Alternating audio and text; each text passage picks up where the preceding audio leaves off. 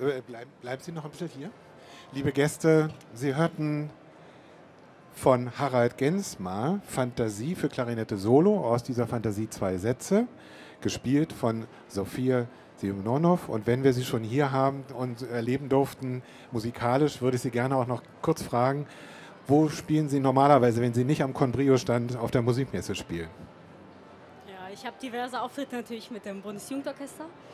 Und sonst gehe ich auf Wettbewerbe. Mm, und sonst habe ich ein paar Mucken vielleicht. ja.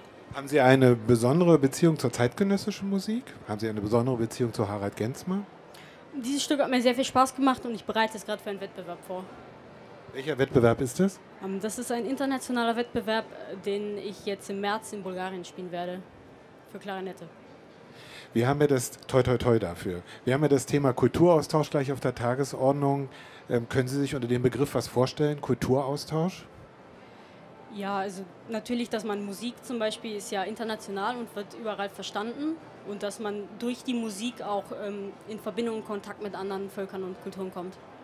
Das klingt sehr gut, schon fast wie aus dem Lehrbuch, die Definition. Haben Sie denn selbst diese Erfahrung auch schon mal gemacht, die Sie gerade so schön beschrieben haben? Ähm, ich war letztes Jahr im Ausland, auch in Bulgarien, auf einem Musikgymnasium. Dort habe ich natürlich die Erfahrung gemacht. Und ansonsten ähm, gibt es auch so internationale Tournees mit dem Bundesjugendorchester natürlich, wo man auch dann mit den Kulturen anderer Länder in äh, Begegnung kommt. Ja, herzlichen Dank. Nochmal einen Applaus bitte für diesen wunderschönen Vortrag. Dankeschön. Liebe Gäste, ich freue mich, dass wir zwei Experten für unser Thema gewinnen konnten. Zu meiner Rechten Jörg Süßenbach, er ist Bereichsleiter Musik beim Goethe-Institut. Und zu meiner Linken Sönke Lenz, er ist äh, Projektleiter des Bundesjugendorchesters. Da gehen jetzt sicher bei beiden Institutionen und bei beiden Einrichtungen bei jedem andere Bilder im Kopf auf. Und deshalb möchte ich einfach noch mal wissen, Was machen Sie eigentlich genau als Bereichsleiter? Was ist Ihr Kerngeschäft? Also äh, ich sitze in München mit insgesamt 14 Kolleginnen und Kollegen, äh, die bei mir in dem Musikbereich arbeiten. Und unsere Hauptaufgabe ist es, äh, die Auslandskollegen, vornehmlich die Auslandskollegen an über 130 Instituten, aber eben auch gelegentlich einzelne Botschaften dabei zu beraten, Musikprogramme jedwelcher Couleur zu entwickeln. Dankeschön. Ähm, Stichwort Bundesjugendorchester Sönke-Lenz. Man könnte ja meinen, wenn man in die deutsche Orchesterlandschaft guckt, wir haben genug Orchester. Wozu brauchst du dann noch ein Bundesjugendorchester? Äh, Sie gucken ja in die Profilandschaft ähm, und wir gucken in den Nachwuchsbereich und wir gucken in den Nachwuchsbereich, um den Profibereich zu stärken. Und dafür gibt es das Bundesjugendorchester. Wunderschön. Wenn die Antworten weiter so präzise und knapp sind, dann können wir gleich Kaffee trinken gehen. Herrlich. Ähm, ich, wir haben ja eben das Thema Kulturaustausch schon anmoderiert mit der Klarinettistin und ich wollte Sie beide nochmal nach Ihren ganz persönlichen Erfahrungen fragen. Was war, woran Sie sich erinnern können, was waren so Ihre ersten Erinnerungen mit der Begegnung des anderen, des Unbekannten? Also im Musikbereich war das, äh, war ich glaube ich 16 Jahre alt und ähm, habe in einer städtischen, in einem städtischen Orchester gespielt, wo ich herkomme aus Erlangen. Welches Instrument, wenn ich äh, Saxophon damals. Und ähm, wir hatten die wunderbare Gelegenheit, ähm, auf der Basis einer Städtepartnerschaft, wie es ja viele gibt, eben in unsere äh, Partnerstadt Rennes nach Frankreich zu fahren und dort eben zu konzertieren und eben auch französische Musikerinnen und Musiker kennenzulernen, mit denen auch zusammen zu spielen. Und äh, damit war der Samen gesät, kann man sagen. Können Sie noch ein bisschen beschreiben, was das für Wirkungen gehabt hat dann später? Welche Wirkungen Sie daraus abgeleitet haben? Ja, ich habe das als sehr bereichernd empfunden. A, für das Ensemble, für uns, die wir unterwegs waren und uns in der neuen Umgebung letztendlich irgendwie auch ein bisschen zurechtfinden mussten. Aber auch für mich persönlich. Ich hoffe sehr, dass das auch für die, die uns eingeladen haben, gleichermaßen befruchtend war. Zumindest hatte man den Eindruck, ich, weiß nicht, ob sie nur höflich waren oder nett, aber ähm, letztendlich, wenn wir über Kulturaustausch sprechen, ist es ja etwas, was nicht einseitig sein sollte und äh, was vielleicht jetzt von damals zu heute den Sprung zu machen, auch für uns, äh, unsere jetzige ja. Arbeit, ein ganz wichtiges Movens ist, ja. diese Beidseitigkeit herbeizuführen, wenn das möglich ist. Ist das Saxophon noch Begleiter heute für Sie? Nee, ich habe das dann später auch studiert, ähm, aber ähm, vielleicht weiß es Herr Lenz auch, also wenn man ähm, doch vermittelnd tätig ist, bleibt wenig Zeit und so ein verdammtes Holzblasinstrument braucht doch regelmäßige Bedienung. Und das war dann doch ziemlich frustrierend irgendwann nach ein paar Jahren, sodass ich es jetzt erstmal ganz in die Ecke gestellt habe und im Moment nur in einem Chor singe, was relativ neu ist für mich. Na, was heißt Chor? Nur? Ist wunderbar. Die Stimme ist, die eigene Stimme ist ja mit das schönste Instrument. Sönke Lenz, woran können Sie sich erinnern? Was hat Sie geprägt in der Kindheit? Ich kann mich äh, tatsächlich an viele Orchesterreisen im Jugendorchester erinnern. Ich hatte das große Glück, in Hamburg in einem Stadtteil zu wohnen, wo ein unheimlich aktiver Dirigent das Stadtteilorchester geleitet hat und mit uns, ich äh, würde jetzt mal tippen, bestimmt sechs, sieben Reisen gemacht hat im Laufe meiner Orche Jugendorchesterlaufbahn. Und das war äh, von Finnland und Schweden und Dänemark und Norwegen über Polen und England alles, was so sozusagen nord- und, und, äh, und östlich liegt. Und das waren für mich tatsächlich ganz prägende Ereignisse, ähm, weil es gerade in Ländern wie zum Beispiel in Finnland oder in Polen die sprachliche Barriere natürlich ganz äh, stark gibt und die Musik als die Sprache, wie man so schön sagt, die jeder versteht, was man natürlich ein bisschen in Klammern oder in Anführungsstrichen setzen sollte, wenn man den Horizont etwas weiter aufzieht ähm, dann doch uns geholfen hat, diese Barrieren zu überwinden und uns auch äh, mutig gemacht hat, äh, einfach andere Länder zu bereisen, den Kontakt zu suchen, uns auf Abenteuer einzulassen, sowohl organisatorisch, logistisch als auch eben im zwischenmenschlichen Bereich. Und ähm, ich habe das als etwas mitgenommen, das mein Leben bisher auch weiter begleitet und für mich einen wichtigen Aspekt bildet und das ist das, was ich auch den Jugendlichen im Bundesjugendorchester weitergeben möchte, weil ich das für ähm, essentiell halte. wenn man sich mit Musik oder mit Kultur beschäftigt, dass der Horizont aufgezogen wird, dass man Ideen bekommt von dem, was außerhalb von dem eigenen Leben und dem eigenen, der eigenen Umgebung ist. Ähm, sonst fehlt jede Bereicherung und ähm, äh, die Kreativität bleibt auf der Strecke. Sie haben eben sehr schön den Bogen geschlagen und nochmal deutlich gemacht, dass das der Keimling auch für jetziges berufliches Wirken ist mit dem Bundesjugendorchester. Ähm, sehen Sie sich da schon am Ende der Strecke, was diese Mission, diese Vorstellung, was kann ich auch mit dem Bundesjugendorchester bewirken, wie kann ich Horizonterweiterung äh, erreichen? Sehen Sie sich da schon am Ende der Strecke oder sind Sie mitten auf dem Weg und welche Perspektiven eröffnen sich unter Umständen noch für Sie? Da gibt es zwei äh, ähm, Sichtweisen. Die erste ist, wir sind nie am Ende der Strecke, weil wir jedes Jahr neue Jugendliche haben. Und wir wollen natürlich allen Jugendlichen ermöglichen, Erfahrungen zu machen, die äh, sich vielleicht ähneln mit denen der vorherigen Generation. Also alles, was wir tun, tun wir eigentlich neu. Wenn wir das vielleicht als Organisatoren schon kennen oder in ähnlicher Form kennen, für die Jugendlichen ist es immer neu. Das heißt, äh, es lohnt sich immer, das fortzuführen.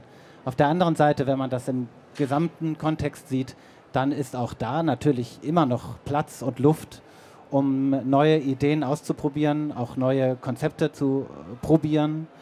Wir haben sehr viel schöne Programme, sehr viel ähm, anspruchsvolle Programme in der Vergangenheit gemacht, auch mit dem Aspekt der kulturellen Vielfalt, der Integration von Musik verschiedener Stile, verschiedener Kulturen, ähm, sowohl in Deutschland äh, als auch im Ausland. Und diesen Weg äh, kann man noch weiter bestreiten und man kann ihn noch intensivieren. Und das sind äh, meine Pläne. Stichwort intensivieren, äh, Jörg Susenbach. Ähm, Sie sind ja eine Mittler oder arbeiten bei einer Mittlerorganisation im Goethe-Institut, was, wenn ich richtig informiert wird, in der Hauptsache vom Auswärtigen Amt finanziert wird. Wie stark ist, äh, mal ganz unter uns, wir sind ja hier fast unter uns, wie stark ist denn der politische Einfluss auf die inhaltliche Ar Arbeit? Nun ja, nicht alle wissen, dass wir kein Departement, kein Teil des Außenministeriums sind. Also äh, das wurde vor über 60 Jahren wohlweislich ähm, entschieden, dass man da eine eigene Institution sein sollte, eine eigene Körperschaft. Wir sind ein Verein, das weiß vielleicht auch der ein oder andere nicht, also etwas, äh, was man möglicherweise in so einem Kontext nicht vermutet, aber was sich wirklich bewährt hat. Das heißt, eine staatsunabhängige Organisation. Wir kriegen in der Tat etwa zwei Drittel des Budgets, das wir ausgeben vom Auswärtigen Amt, erwirtschaften ziemlich viel Geld selber, vor allen Dingen durch die Sprachkurse. Und ähm, für das Geld, das wir vom Auswärtigen Amt entgegennehmen, gibt es so eine Art Leistungsvereinbarung. Also die Metaebene ist ein Rahmenvertrag, in dem bestimmte Aufgaben letztendlich beschrieben werden. Und eine Ebene drunter sind das Vereinbarungen, die sich alle drei Jahre erneuern. Ähm, das hatte damit zu tun, dass uns eben äh, irgendwann ein Budget übergeben wurde und wir sozusagen recht freihändig eben mit großen Summen hantieren können. Dafür gibt es dann so kleine Teilvereinbarungen, die temporären Charakter haben. Insofern agieren wir innerhalb dieser gesteckten äh, Rahmenvereinbarungen, aber unterhalb dieser Decke relativ frei. Sie haben gerade von großen Summen gesprochen. Wenn wir jetzt an den Fall Höhnes denken, dann ist das ja nach oben offen in der Richterskala. Was, von wie viel reden wir denn da? Ähm, was hatte ich gelesen? 150 Millionen auf dem Konto von Herrn Höhnes. Ähm, also wahnsinnig viel mehr vom Auswärtigen Amt kriegen wir auch nicht pro Jahr. Aber immerhin. Steuerfrei, genau. Ähm, welche Rolle spielt denn bei Ihrer programmatischen Planung, bei Ihrer inhaltlichen Planung die UNESCO-Konvention kulturelle Vielfalt, also die Kernbotschaft Schutz und Förderung der drei Grundsäulen, kulturelles Erbe, zeitgenössische Ausdrucksformen und der sogenannte interkulturelle Bereich? Also mein Eindruck ist, dass das ähm, von den Kollegen, die in diesem Bereich tätig sind, ähm, verinnerlicht wurde und wird. Also für uns ähm, ist es sehr wichtig, ähm, dialogisch zu arbeiten, sprich den anderen wahrzunehmen, dort wo wir wirken. Äh, Kulturerhalt ist in vielen Regionen ein sehr, sehr wichtiges Thema, wo wir auch hoffen, helfen zu können. Manchmal eben auch im Schulterschluss mit dem Auswärtigen Amt selber, die einen Titel haben dafür, wo extra Geld für verwendet werden kann. Ich erinnere mich zum Beispiel an die Restaurierung von Orgeln in Kolumbien die wir begleitet haben, solche Initiativen. Aber wir selber tun das auch. Wir haben, können äh, Instrumentenspenden ermöglichen, die bestimmte Musiktraditionen am Leben erhalten vor Ort.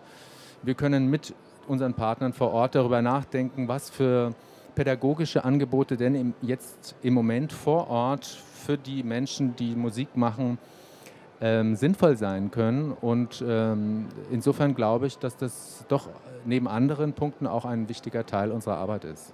Wer bestimmt bei Ihnen die Schwerpunktländer? Sind, ist das letztendlich die, die Richtlinie der Auswärtigen Bildungs- und Kulturpolitik, die sich ja auf Schwerpunktländer auch konzentriert? Oder gehen Sie da einen eigenen Weg? Also das mischt sich ein bisschen. Ich weiß nicht, ob Sie sich an diese Aktion Afrika erinnern können. Das ist eine Initiative des Auswärtigen Amtes gewesen. Das ging über etliche Jahre und da wurden dann eben Mittel bereitgestellt, an denen auch wir partizipieren konnten. Da äh, ging es jetzt um die Region Subsahara-Afrika. Im Moment läuft ein Programm äh, nicht unschwer vorzustellen im Nahen Osten, auch mit Sondermitteln die jetzt zu meinem Leidwesen etwas äh, wenig in den Musikbereich fließen, aber verständlicherweise, wo relativ viel Geld eben, sag ich mal, für politische Bildung, für Stärkung des äh, Gemeinwesens, ähm, demokratische ähm, Weiterbildungsmaßnahmen und so weiter eingesetzt werden. Ähm, wir selber können sozusagen über diese Vereinbarung, die wir auch intern machen, da ist der Vorstand letztendlich entscheidend, schon auch sagen, wir möchten die eine oder andere Region stärken, jetzt mit den Geldern, die uns zur Verfügung stehen. Und so haben wir uns jetzt zum Beispiel in den letzten, ich glaube, zwei, drei Jahren auch wieder verstärkt dazu entschieden, uns Europa zuzuwenden, auch aus verständlichen Gründen, ähm, was vor, sag ich mal, fünf, sechs Jahren nicht so auf der Agenda stand, wo man sich dann also eher jetzt den Schwellenländern zugewandt hat. Sönke Lenz hat ja gerade ganz schön beschrieben, nochmal die Bedeutung äh, der Begegnung, äh, gerade von jungen Menschen. Wie ist das äh, bei Ihnen verortet? Also ist äh, die Repräsentation Deutschlands stärker im Vordergrund, sozusagen die Plakatwand Deutschland im Ausland? Ähm, oder steht, liegt der Schwerpunkt tatsächlich auf der Begegnung? Ja, auch da sind die Grenzen fließend, ganz klar. Also wir haben ähm, auch viele Programme im Nachwuchs- und im Laienbereich. Äh, da ist für uns eine ganz wichtige Voraussetzung, dass das Ensemble aus Deutschland kommend ähm, einen einladenden Partner hat und das sind ganz häufig eben Ensembles, mit denen zusammen musiziert wird. Also aktuell ein Hochschulchor einer chinesischen Universität lädt einen deutschen jungen Chor ein und da ist sozusagen diese, das Miteinander, das Dialogische sozusagen schon von Anfang an in der Anlage. Manchmal muss man ein bisschen helfen. Also wenn wir zum Beispiel mit Profis arbeiten, die erfahrungsgemäß nicht so viel Zeit haben und sich auch nicht Ewigkeiten irgendwo aufhalten können, äh, wir aber gerne von deren wunderbarer künstlerischen Professionalität profitieren wollen, dann muss man manchmal eben auch ähm, kleinere Formate stricken. Was wir fast nie machen, ist, dass jemand einfach nur hinkommt, wie auf einer Tournee, ein schönes Konzert spielt und dann sofort wieder abreist, sondern es gibt in der Regel immer begleitende Formate. Das kann bis in den edukativen Bereich gehen, dass jemand äh, Meisterkurse gibt, aber in jedem Fall trifft der örtliche Künstler andere Repräsentanten der dortigen Kultur und kann so sein eigenes persönliches Netzwerk erweitern. Sie erwähnten gerade China, Sönke Lenz. Sie kennen sicher das Beispiel des Dresdner Kreuzchores, der vor einer China-Tournee äh, auf Anraten der chinesischen Seiten und der Konzertagentur das Programm geändert hat und bevor die überhaupt losgefahren sind, das Programm, den Programmpunkt Die Gedanken sind frei zu streichen. Wäre das jetzt im übertragenen Sinne für Sie auch denkbar oder ist Ihnen sowas vielleicht schon mal um, untergekommen? Äh, untergekommen ist es mir noch nicht. Ähm, äh, möglicherweise ist es eine Frage des, der Partnerwahl. Ähm, ob es überhaupt zu solchen Situationen kommt oder nicht, das kann ich in diesem Fall nicht beurteilen. Aber wichtig ist es eben, dass man vorher sich ganz sicher ist, dass der Partner, mit dem man das macht, das, was man macht, mitträgt. Und ähm, das kann natürlich in China zu, zum Beispiel in China zu Konfliktsituationen kommen. Ähm, ich wüsste auch nicht, wie ich reagieren würde, würde mir diese Situation vor Augen äh, gebracht werden. Äh, das ist sicherlich nicht leicht, weil man auf der einen Seite natürlich seinen Partner nicht verprellen möchte und ihn möglicherweise im eigenen Land vor Schwierigkeiten stellen möchte. Auf der anderen Seite möchte man sich weder in das künstlerische Konzept reinreden lassen, noch möchte man sich vor einen Karren spannen lassen, vor dem man nicht stehen möchte. Das ist also durchaus schwer abzuwägen. Den Fall kenne ich nicht so genau, um dazu jetzt Stellung zu nehmen. Aber Fakt ist, dass wir eben im Vorfeld dieser Abstimmungsphasen sehr genau gestalten müssen. Und das tun wir mit all unseren Partnern, weswegen ich zum Beispiel nie eine große Auslandsreise mache, ohne nicht vorher in dem Land gewesen zu sein, ohne nicht vorher mit Botschaft, Goethe-Instituten, mit den Partnern, äh, mit dem DAAD gesprochen zu haben, um äh, das Umfeld zu klären und ähm, sozusagen die auch dann die, die bereichernde Landschaft äh, gesehen zu haben, auf der dann unser Samenkorn eingepflanzt werden kann. Ähm, es geht auch jetzt nicht um die Beurteilung des Falles, sondern eher nochmal um die Frage, ob es äh, neben dieser Gratwanderung, die Sie gerade ganz schön beschrieben haben, doch etwas wie ein Regelwerk gibt. Also gibt es rote Linien, wo Sie sagen, da, darüber können wir nicht gehen bei aller Diplomatie? Die würde es möglicherweise geben, die kann ich, könnte ich Ihnen jetzt nicht, also es gibt die natürlich nicht schriftlich. Das sind, ähm, wenn, wenn es gegen unsere freiheitliche Auffassung geht und gegen unsere Weltanschauung, äh, äh, oder wenn man sich eben tatsächlich äh, möglicherweise so vor den Karren spannen lässt, dass man die Begleitmusik zu einer Hinrichtung spielt. Also da hat man, haben wir, glaube ich, hier in unserer Gesellschaft ein sehr feines Gefühl dafür, wo diese Linie überschritten werden könnte und wo nicht. Es gibt sie aber an anderen Stellen, ähm, wo, ähm, die wir auch schon erlebt haben, wo es eine sehr starke Diskussion auch im Orchester gegeben hat. Ähm, zum Stichwort vor den Karren spannen, zum Beispiel in Venezuela, wo wir ja mehrfach schon mit dem venezolanischen Orchester und Orchestersystem zusammengearbeitet haben und dort eine Situation entstand, ähm, wo wir in Caracas ein gemeinsames Konzert gegeben haben mit dem Teresa Carreño Orchester. Und äh, die Menschen, die das Orchester kennen und dieses System kennen, wissen, dass die oft in ihren Nationalfarbenjacken auftreten.